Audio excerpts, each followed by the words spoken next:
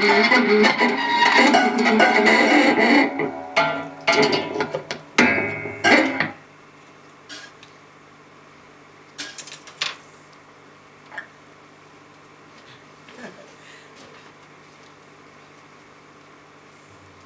this is the tragedy of Johann Schobert. Schobert. a uh, fairly, a fairly obs- you a French or German composer. French and German, English, but it's it turns out. Frank. Frankish would be. The truth is that Schobert, not only to Mozart's first matter, sorry, the truth is that Schobert not only is Mozart's first master, but the first real poet Mozart meets on his way. He deeply feels that Schobert, Schobert, but, um, Schobert, I'll call him, uh, will help to let out of himself his in, inmost and still hidden being. we may think that Wolfgang meets the virtuoso in Prince de Conti's fashionable circles, but above all we know he plays Schubert's sonatas again and again.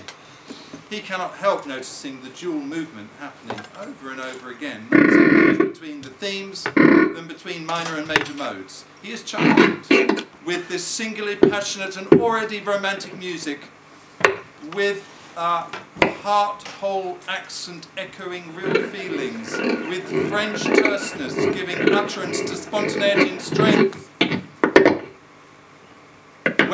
Mozart comes back to Paris 15 years later in 1777, he makes up, no, he owns up his father, he owns up his father,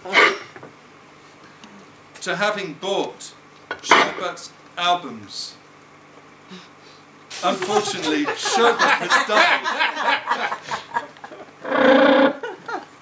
For 10 years dying for 10 years when Mozart is in Paris for the second time. Let Grimm, let Grimm tell us how it tragically happened in the letter he writes in September 1767.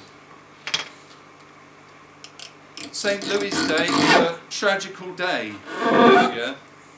Schubert, who was famously among the best harpsichord players in Paris, had planned a party with his wife, one of his children who was four or five, and some church friends, among whom was a doctor.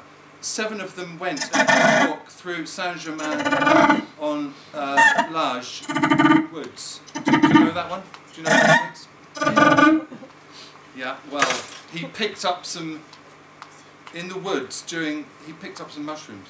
In the evening, they go to an inn and ask for mushrooms to be cooked, ask for them to be cooked.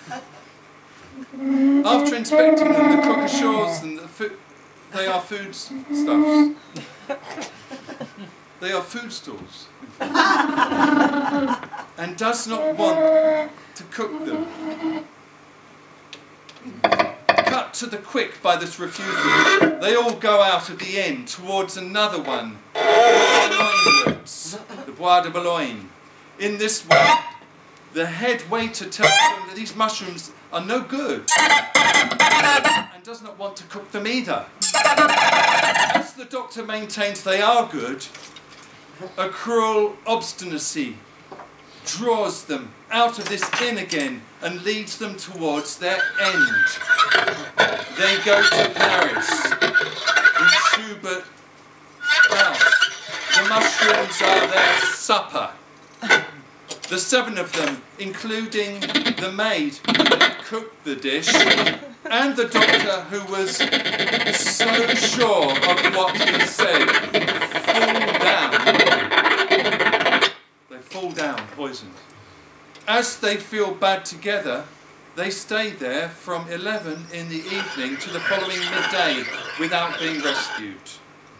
They were found lying down on the floor, convulsed with pain and fighting against, sorry, the emotion, fighting against death. Assistance was useless. The child died first. Schobert went on living from Tuesday to Friday, August the 28th, 1767. His wife died, but on the following Monday. So that would be 20th, 29th, 30, 1st of September. 1st of September, that was. Some of the poor lads remained still alive during 20 days after the fatal day, but none of them escaped. Schubert leaves a penniless child out to nurse. This very talented musician had an easy, brilliant, and charming way of playing. He was not such a genius as our Eckard, who is, who still remains the first master in Paris. But Schubert, or rather Schobert, was more admired than Eckard because he was always a pleasant man.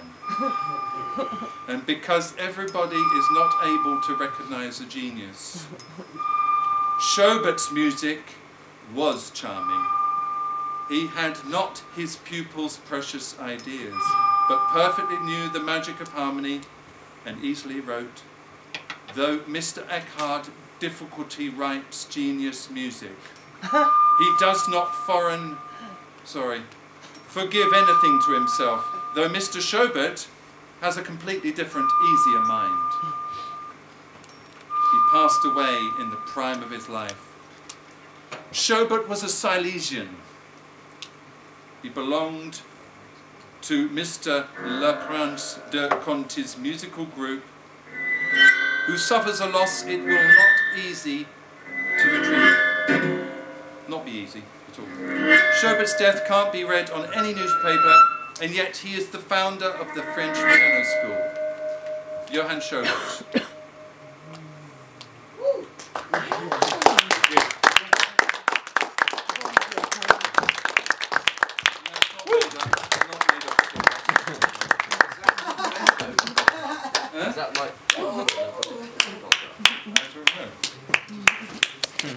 Very much anyway.